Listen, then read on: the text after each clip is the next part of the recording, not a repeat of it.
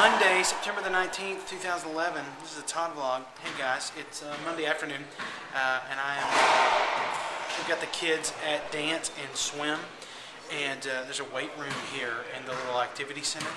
And uh, I noticed a sign on the door for the weight room that says no jeans or cutoffs or metal. That's weird. A lot of guys wearing metal in the weight room. Jeans or cutoffs or metal does that mean? Metal pants? Metal shorts? I don't know. What do you think? What do you think it means metal?